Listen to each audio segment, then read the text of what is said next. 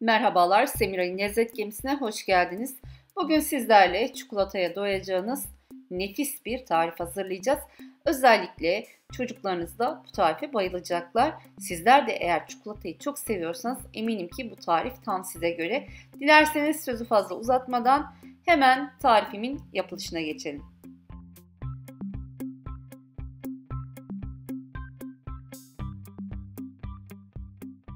Öncelikle 250 gram sütlü çikolatayı keskin bir bıçak yardımıyla güzel bir şekilde doğruyorum.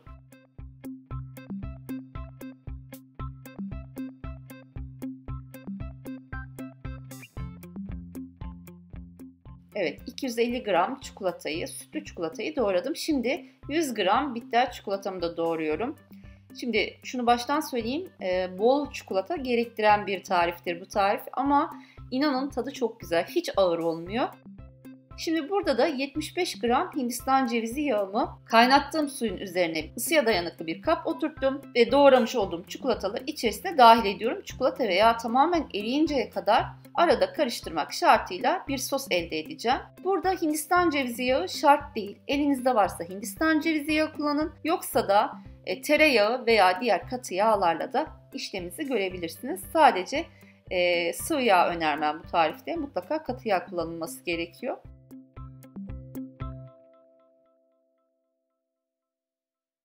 Şimdi o orada erirken ben burada iki tane yumurtamı bir kabın içerisine aldım. Üzerine 75 gram şöyle bir su bardağından 1-2 parmak eksik olacak şekilde pudra şekeri aldım. 2 yemek kaşığı süt ve 2 yemek kaşığı da kakaomu ekliyorum.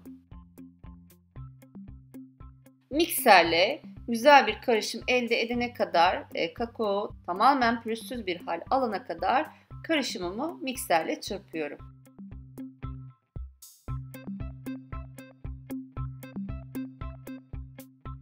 Diğer yanda çikolatam ve yağım da eridi. Bu şekilde sıvı bir sos haline geldi.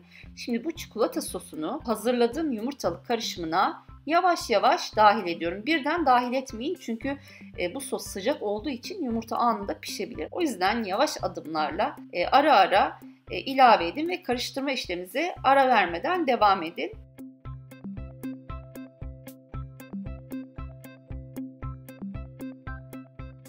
Bakın güzel bir e, kıvam almaya başladı sosum. Burada yumurtanın da çiğ kalma ihtimali kalmıyor. O yüzden endişeniz olmasın. Çünkü eklediğim çikolata sosu gayet sıcak bir sos e, ve kesinlikle yumurta içerisinde çiğ kalmıyor. E, tamamen çırptıktan sonra çikolata sosum hazır hale geldi. Bakın kıvamı bu şekilde gerçekten kaşıklayıp ekmeğin üstüne bile sürülebilir.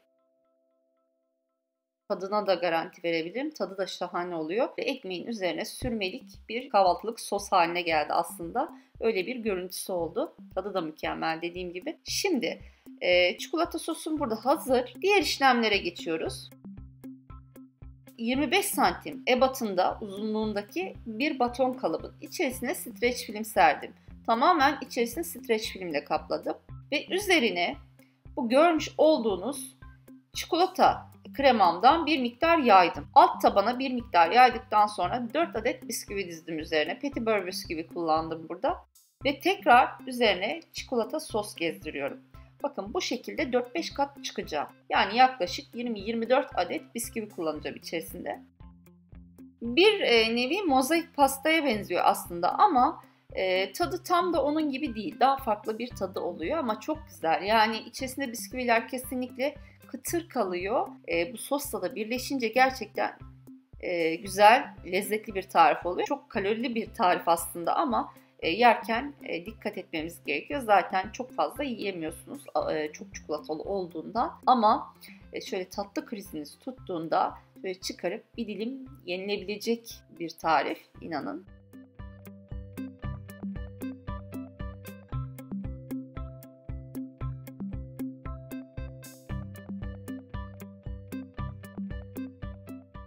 Şimdi bu şekilde sırasıyla dediğim gibi 4-5 kat çıkacağım. Çikolata sosumun yettiği yere kadar.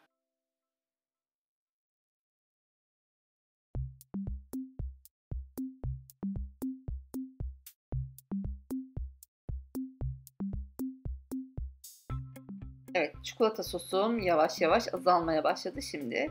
E, daha dikkatli bir şekilde koyuyorum. Yaydıktan sonra e, son katımı kapatacağım.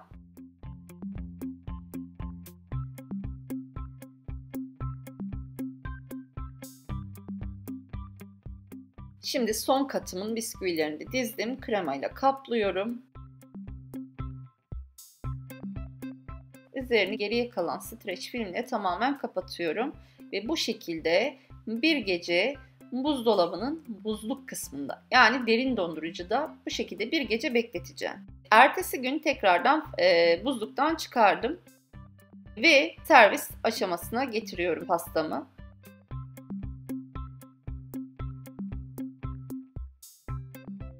Şimdi pastamı ters çevirdim. Üzerine kakao serpiyorum. Bu şekilde pastam daha güzel görünecek. Üzerine de böyle yeşil fıstık serpiyorum. Çok güzel bir görüntüsü oluyor. Misafirlerinize gururla ikram edebileceğiniz harika bir lezzet. Ben burada çok fazla bekletmedim. Yani derin dondurucudan çıkardıktan sonra hemen servise koyuldum. Fakat derin dondurucudan çıkardıktan sonra biraz beklemenizi tavsiye ederim. Şöyle 15-20 dakika kadar bekletirseniz kesim işlemi daha kolay olacaktır. İç görüntüsü de gerçekten muhteşem. Çok lezzetli bir tariftir. Daha önce yayınladığımda çok kişi, binlerce kişi tarafından denenen garantili tariflerinden bir tanesidir ve deneyen çok beğeniyor bu pastayı. Bakın içerisinde bisküvi hiçbir şekilde e, bozulmadan e, kıtır kıtır ağzınıza geliyor. Gerçekten çikolatası da zaten çok lezzetli. Bu tarifimde deneyin diyorum. Gerçekten sizi pişman etmeyecek tariflerimden bir tanesidir.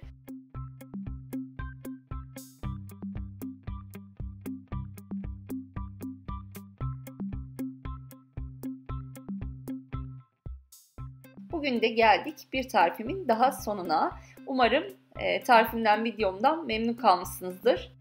Benden daha yeni videoların gelmesini isterseniz videolarımı beğenmeyi, paylaşmayı, yorumlamayı, yeni gelecek videolarımdan haberdar olabilmek için yukarıdaki bildirim ziline tıklamayı unutmayın lütfen. Bir dahaki videoma kadar hoşçakalın, mutlu kalın, sağlıkla kalın. Görüşmek dileğiyle.